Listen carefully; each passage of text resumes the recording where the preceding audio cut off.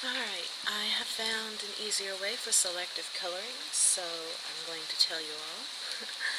um, just go to your base layer, right click, and click duplicate layer. And on this layer you will want to go to colors, oops, desaturate, and click average. That makes it all grayscale. Then go to layer, transparency, make sure add alpha channel is on. Now, what you want to do is get the eraser and zoom in on the part that you want to be colored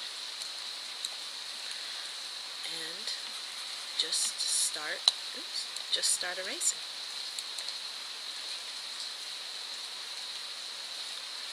No masks, nothing too confusing about it.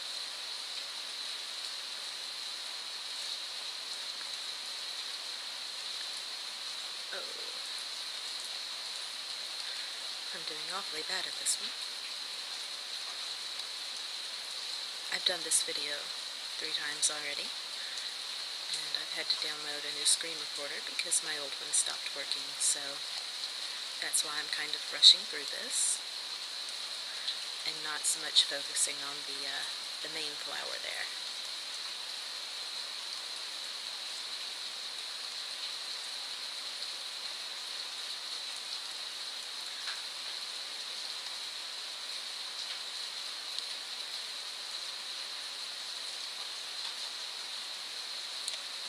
Go.